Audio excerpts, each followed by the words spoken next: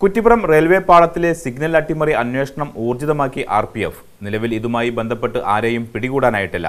പ്രദേശത്ത് നിരീക്ഷണ ക്യാമറകൾ സ്ഥാപിക്കാൻ തീരുമാനിച്ചിട്ടുണ്ട്. കൂടാതെ സംഭവത്തിൽ ആർ ഗ്രാമപഞ്ചായത്തും ബോധവൽക്കരണ പ്രവർത്തനങ്ങളും ആരംഭിച്ചു. കുറ്റിപ്പുറം റെയിൽവേ സ്റ്റേഷന് സമീപത്തെ റെയിൽപാളങ്ങൾ കൂട്ടിച്ചേർക്കുന്ന പോയിന്റുകൾ കരിങ്കല്ലുകൾ കുത്തിനിറച്ച സംഭവത്തിൽ ആർ പി എഫ് അന്വേഷണം ഊർജിതമാക്കി. കഴിഞ്ഞ ചൊവ്വാഴ്ച നടന്ന സംഭവത്തിൽ ഇതുവരെ ആരെയും പിടികൂടാനായിട്ടില്ല.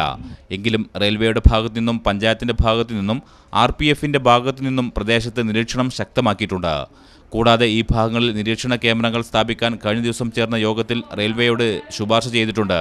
ഇതിനു പുറമെ ആർ പി എഫും ഗ്രാമപഞ്ചായത്തും ബോധവൽക്കരണ പ്രവർത്തനങ്ങൾ ആരംഭിച്ചു ഇപ്പം അഫക്റ്റ് ചെയ്തിരിക്കുന്നത് മംഗള എക്സ്പ്രസ് ആണ് അത് കുറ്റിപ്പുറം സ്റ്റേഷനിൽ സ്റ്റോപ്പേജ് ഉണ്ട് ഇനി ആ, അതിനെ ബാധിക്കുന്ന രീതിയിൽ വരുവാണെന്നുണ്ടെങ്കിൽ അത് റെയിൽവേ അതിനെതിരെ തീർച്ചയായിട്ടും നടപടിയെടുക്കും കുട്ടികൾക്കായിട്ട് പറയാനുള്ളത് നിങ്ങൾ ട്രാക്ക് ക്രോസ് ചെയ്യരുത്. സ്റ്റോൺ കളിക്കുന്നതിനും മറ്റും അതിന്റെ ഷേപ്പൊക്കെ മനസ്സിലാക്കാൻ വേണ്ടിയിട്ടൊക്കെയാണ് അവർ കളി എന്നൊരു രീതിയിലാണ് അവരത് കാണുന്നത്. ബട്ട് അത് റെയിൽവേ റെസ്ട്രിക്റ്റഡ് ഏരിയ ആണ്. അങ്ങോട്ട് ഇതൊന്നും ചെയ്യുവാൻ വേണ്ടിയിട്ട് വരരുത്.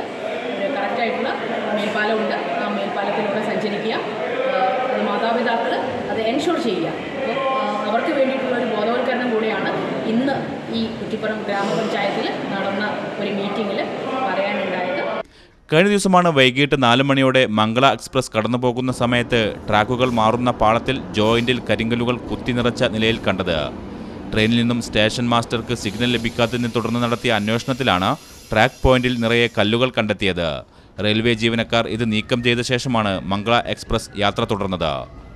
News bureau Kuttippuram.